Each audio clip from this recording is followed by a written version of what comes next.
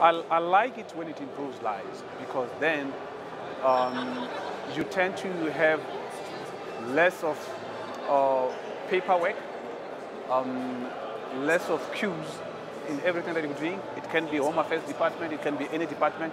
Instead of people going to queue there, my understanding of Internet of Things is everything will be digitalized, which means you will have less presentation of people directly in terms of um, the queues.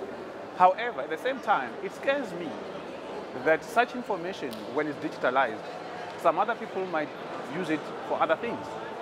And um, I must also add, sometimes it might also add in terms of trying to, uh, to create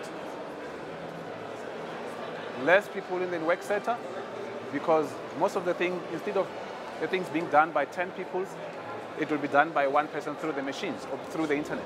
Like say for instance, right now, if, I, if, if, if I'm talking about the department, let me just make an example of any department. Say um, the education department.